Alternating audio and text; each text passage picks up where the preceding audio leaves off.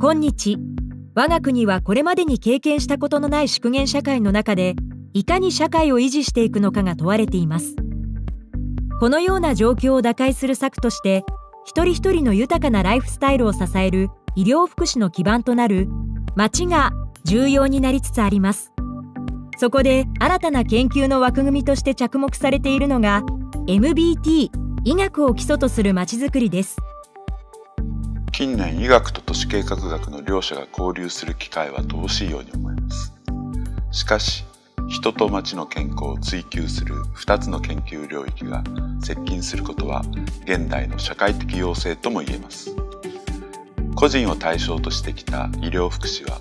多大な社会貢献を成し遂げているものの今日では無縁社会の出現や医療費の拡大といった家庭や医療福祉機関だけでは解決できない課題が拡大しているのも事実です。そこでそれら社会的課題と医療福祉を結びつける町を都市計画まちづくり分野での蓄積を生かした MBT として生み出し人の健康と町の健康を目指す必要があります。このようなことから2012年より早稲田大学では包括協定を結んでいた奈良県立医科大学とともに共同研究に取り組んでいます。MBT は医療産業の集積ではありません。全ての産業に医学の光を当て医学による産業の創生を図ります。産業の活性化により地方創生を行います。今まで患者さんと1対1にしか使ってこなかった医師看護師の知識をまちづくり産業創生に使うと新しい分野が生まれます。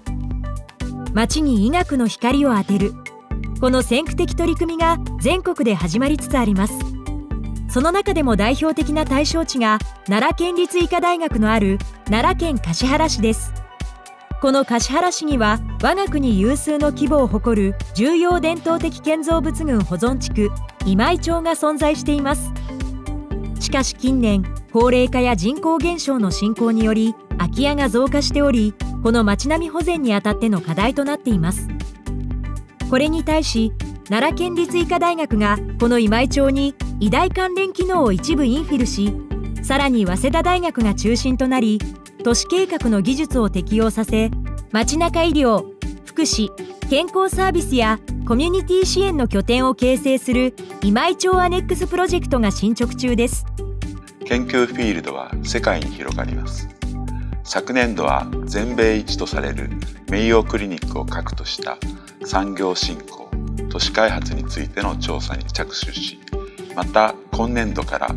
台湾における漢方文化を基盤としたまちづくり活動の方がと健康増進の相乗効果に関する研究を始めています。しかしそんな中でも私たちの研究の基盤をなすフィールドは橿原市であると考えています。大和三山に抱かれたまほろばの地である橿原市には天体の運行と盆地地形とのダイナミックな降雨や自然と人為の融合した古代の条理性や水系ネットワークなど町の原型が存在していると言えるからです。この場所で奈良医大の教育部門の移転を契機とした今井町アネックスプロジェクトによって町と人の健康の相乗効果を生み出したいと考えています。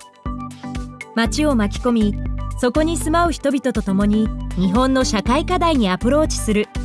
この壮大なテーマを実現すべく幅広い主体を巻き込んだ研究体制が構築されつつあります。2015年4年に一度開催される日本医学会総会において医学を基礎とするまちづくりが特別企画に取り上げられ医学界の大きな注目を集めるとともに産業界に対しては MBT コンソーシアムを設立。設立記念シンポジウムには300近い企業が参加し約70名の医大教授と議論を交わすなど強い関心を集めることに成功しました。また2016年には大型研究資金を複数獲得するなど MBT 研究に向けた産学間の連携による強力な研究体制が構築されつつあります。MBT はこれまでの成長型のパラダイムをシフトさせ街に集い暮らすことの価値観を構築するいわば世直しに取り組むような一つの挑戦であると思っていますつまり医療費削減町の経営維持コストの削減などの成果は期待しつつも、最終的には全国の町の健康を実現することが目的であるということです。まずはローカルな現場にて成果を蓄積させていくことで全世界に適用可能な概念に発展していくことでしょう。